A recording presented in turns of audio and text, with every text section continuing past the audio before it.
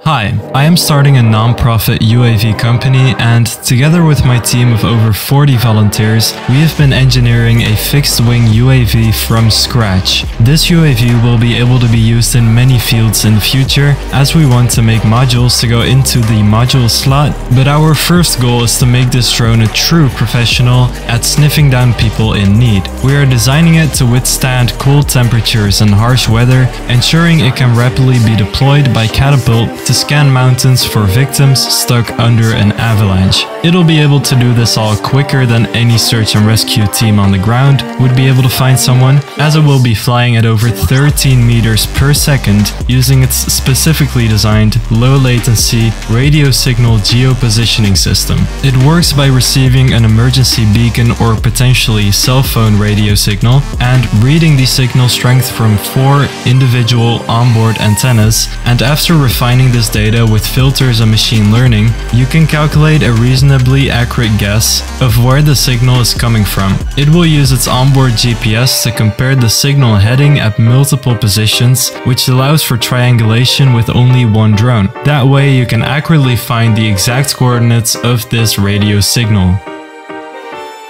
To ensure we don't miss any victims, we need to fly within close parameter of their radio beacon. Snow acts as a Faraday cage, as it's made out of water, and can block radio waves from coming through. The emergency radio beacons can be seen within 50 meter proximity. If the drone will fly in this zigzag pattern, the distance between each flight path determines how fast a drone can cover a large area. Any potential victim would have to be found and rescued within 10 minutes before they suffocate. So we need to maximize maximize the distance between each flight path to increase its searching speed, but if we have to be within 50 meters of every possible location, we need to fly as low as possible to decrease this distance in a vertical sense, as it's not useful. Our goal is to fly as low as 10 meters, which introduces the need of obstacle avoidance. But at this speed, an affordable LiDAR sensor will not allow for enough time to avoid the obstacle after detection, as it'll only detect it at like 10 meters range. So we've come up with an innovative solution, which is stereo vision, which is highly based on our own eyes and our own depth perception. There will be two cheap cameras with a known distance in between the two, and then by comparing the position of a certain pixel on each camera, you can use a triangulation to find the distance of objects. With the electronics for this being cheaper than a regular LiDAR sensor, we will be able to detect objects at 50 meter distances with only a 2 centimeter inaccuracy. It can see things even further away with more inaccuracy or things closer by with more accuracy. Welcome to engineering a UAV drone swarm without experience, where today we will be discussing all of our progress in the last two months and some very, very important announcements. And after all of this progress and all of this research, we are finally ready to start drawing out and building our first prototype.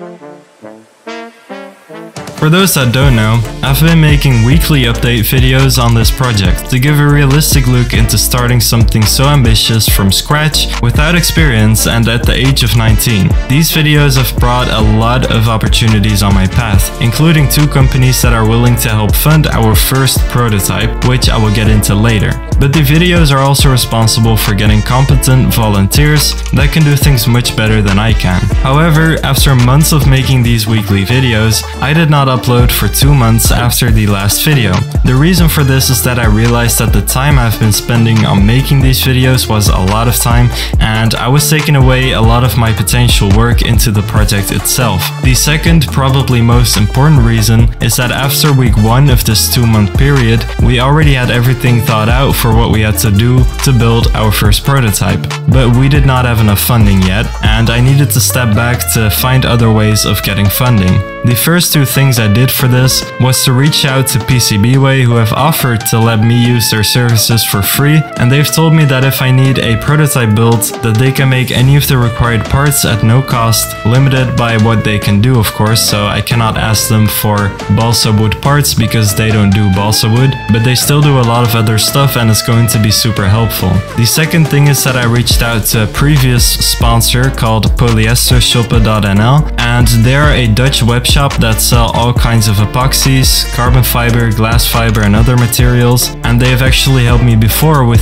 testing out things with PU foam. They have agreed to send me the glass fiber I need to build the prototype as I want to make the wings and fuselage out of fiberglass for a seemingly perfect combination between cost, strength and weight. But of course this thing needed more than that so I worked my own ass off to afford the following items. Firstly I bought a motor, a 40 amp A receiver and controller bundle and a 7 amp hour 3S battery. And this setup would theoretically allow for a 16 minute flight time and a 1.1 kilogram worth of thrust, which should be enough to even lift 2 kilograms worth of drone, preferably a bit less though. So I ordered these parts off of Hobby King, which I did email to ask if they wanted to support the project by sending me these items as well, but sadly they left me on read. But despite that, they offer really good value for the parts and I'm happy with what I got. So Hobby King, if you're watching this, I think this could still be a great collaboration for you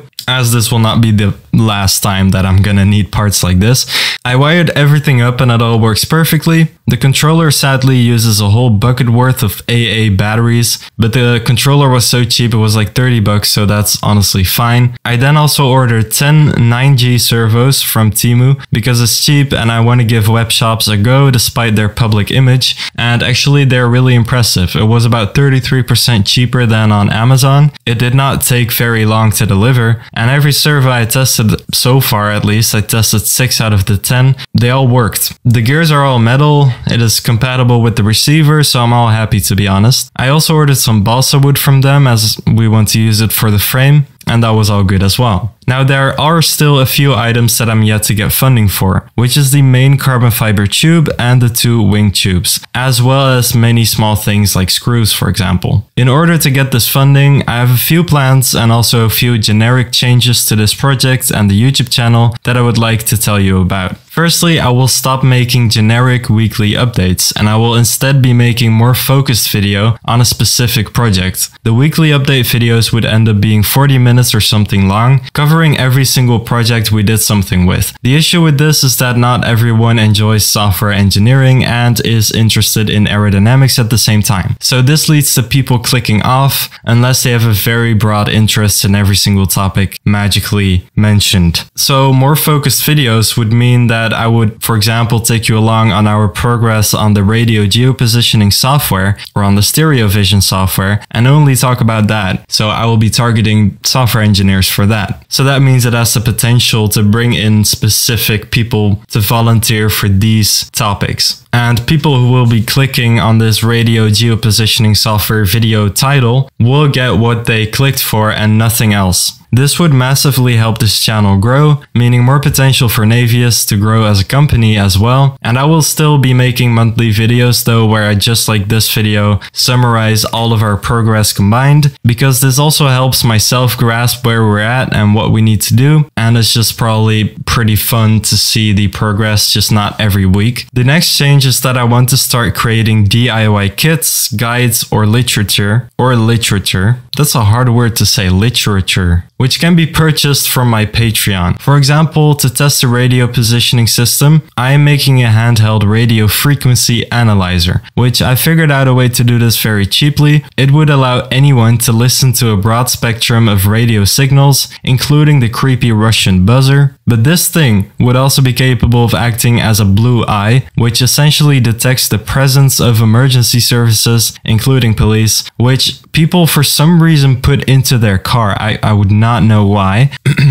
and um, And I also don't know why, but these blue eye things are like $1,800 when my 70 to $80 kit can do all of it and more. So if I make a YouTube video about this analyzer specifically, it'll target the right people that are interested in this analyzer. I will show how it works. And if I think what I'm doing in a video is interesting for people, I will create a parts list and a detailed video guide on how to build it yourself. I think this could be a great way to support a project like this because you would actually be getting something of value in return whilst also donating to a good cause like this. I also changed my Patreon up slightly with more option to just donate, allowing for lower and higher amounts than previously. I added a nice image and title to grasp what you're donating and how much you're helping out because each option correlates to a certain part required for the prototype or finished UAV. I would like to ask anyone who is watching this to have a look at that as your donation would genuinely someday probably save a life. The final change I would like to announce has to do with management. Since like forever I had difficulty managing this large amount of volunteers, and it just so hard when you can't have any reliable expectations from people that work for free, and when you don't have experience managing anything at all in the past. However, I did realize that I should put more effort into this skill and ensure that my job here in Avius is to make everything run smoothly, delegate tasks, make strategic decisions, and make YouTube videos to spread awareness of this project. This is a large task and a whole job in of itself, but either way, it doesn't make sense for me to engineer things myself when there are people that can do it much better and much quicker that have signed up to do it for free. It just feels odd to ask people to do things, but I would just do it because it is the most efficient way for Naevius to run and I need to learn it anyways. I mean, these people, they signed up for it, so it's not weird to ask them to do something. To solve a lot of the issues that we previously had in terms of managing this amount of people, I came up with a whole new system, which I will be creating in the next video. All in all, guys, a lot of stuff is happening and I'm super excited to make content again and to save lives with this cool initiative. If you think you would enjoy this content, please be sure to subscribe, like, and leave a comment. This would allow for YouTube to push these videos to more people, and I guess you could say that liking this video could also save a life. And I don't want to guilt trip anyone here, but but you know what to do. You don't want to not like, you know? You know what I'm saying? Alright, see you guys.